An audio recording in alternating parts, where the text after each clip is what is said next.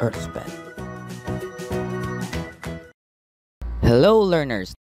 Today we are going to talk about the formula of acceleration and solve one problem with it. Acceleration is an object's capacity to gain velocity within a certain time. So, the formula of acceleration is acceleration is equal to v final minus v initial or the final velocity minus the initial velocity over time. In other words, in order for us to get an acceleration of an object, we need to divide the difference of the velocity, final minus initial, to its time used for the change of velocity. So now let's have this problem. A cyclist speeds up from 2 meters per second to 4 meters per second in a straight line in 2 seconds. Calculate his acceleration.